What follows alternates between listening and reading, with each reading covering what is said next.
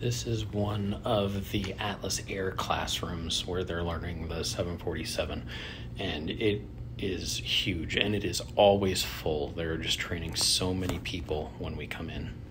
I don't have any sim shots from day three.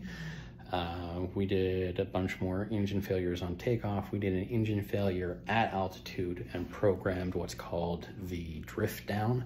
So say you're flying at 29,000 feet and your engine fails at 29,000 feet, it's really not an emergency, but the one thing you can't do usually is stay at 29,000 feet.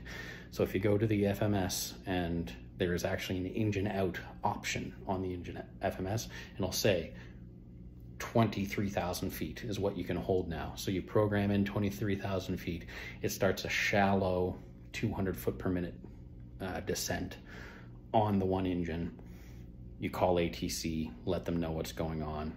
Then, depending on the situation, you might try and restart the engine. That was a big part of today, as well as doing Cat 2 and Cat 3 landings. Cat 3 being like zero zero. The plane lands itself on the runway.